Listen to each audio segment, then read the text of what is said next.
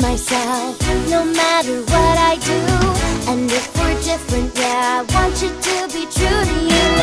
If you follow me, we'll put our differences aside. We'll stick together and start working on that school pride.